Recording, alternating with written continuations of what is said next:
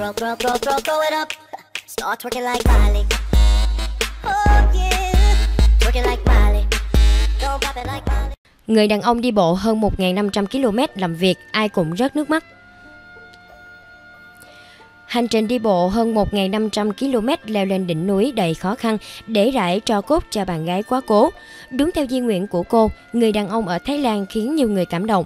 Anh Sushit Subantamat 39 tuổi đã hứa hẹn với cô bạn gái lúc còn sống rằng khi nào có đủ tiền, anh sẽ đưa cô đến ngọn núi Doi Ithanon, ngọn núi cao nhất ở Thái Lan để cùng nhau trải nghiệm cảm giác tuyệt vời khi đứng trên vạn vật.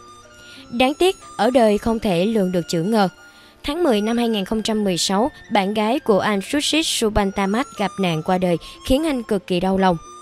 Sau đám tang của bạn gái, anh Sushit quyết tâm thực hiện lời hứa với bạn gái quá cố, đưa tro cốt của cô đến đỉnh núi cao nhất Thái Lan và rải tro của cô ở đó.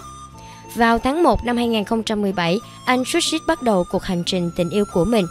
Đến nay, anh đã đi bộ được 1.541 km, thế nhưng chưa tới được đích.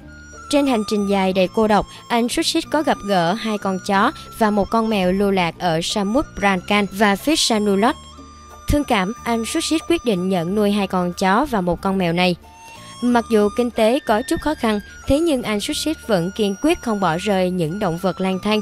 Ngược lại, những con vật này rất trung thành, luôn đi theo anh Sushit, đói cùng đói, no cùng no, không rời bỏ anh. Trên quãng đường dài cũng nhờ có những con vật cưng này mà anh Sushit mới bất cô độc.